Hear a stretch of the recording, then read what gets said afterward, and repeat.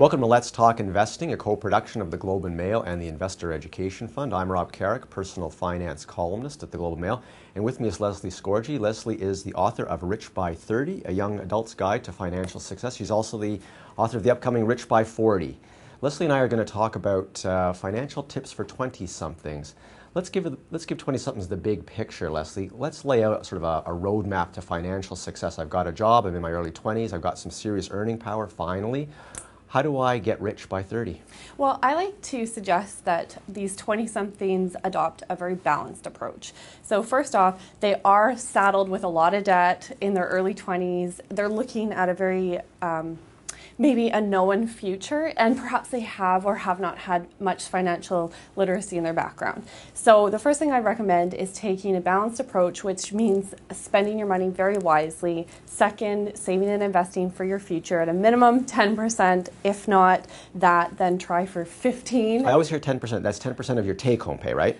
Or do you say, the, well, or do you say your gross pay? Because that's a tall order. Yeah, it, the gross pay is definitely a tall order to fill. Something's better than nothing. So for a young person, I always recommend you know try that 10% of uh, whatever works for okay. you, and then grow that over the time. I guess the point is to get into a regimented savings plan, right? Absolutely, and there's some studies that uh, suggest that if you save 15%, you'll actually become one in that 100 category of very wealthy people that have uh, been deemed self-made millionaires later okay. on. Now, the, um, the person who's getting new to investing and saving is going to be bombarded with ads for tax-free savings accounts. Make a contribution to that. Registered retirement savings plans. Make a contribution to that. Um, as they have kids, there's going to be RESPs. How do you balance those three programs? Um, well, first off, it's important to take care of yourself first. It's like being on an airplane. You put your your mask on first before you put your child's mask on. So uh, absolutely have your RRSP on the go.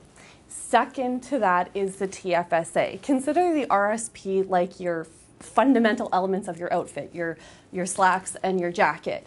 And the accessories to your outfit would be the TFSA. You're going to get more bang for your buck out of the RRSP, though the TFSA does have a lot of curb appeal right now right. because it's new.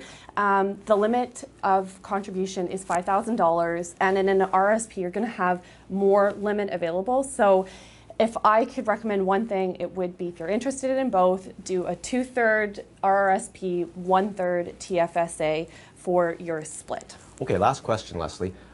Home ownership. There's this compulsion people seem to have to get into the housing market. Mm-hmm. Uh, we all know renting is bad.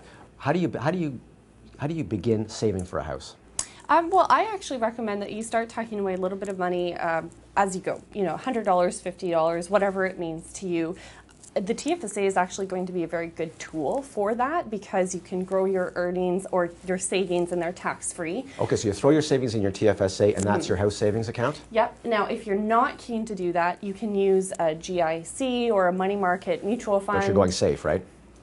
But safe. That's the key. Definitely be safe. Now, right now in the current interest rate environment, it is very attractive for first time homebuyers to get in, but always remember do not make yourself house poor. Make sure that you can afford the payments that are going to potential, potentially bury you okay. uh, later on. Okay, thanks, Lesley. Thank you.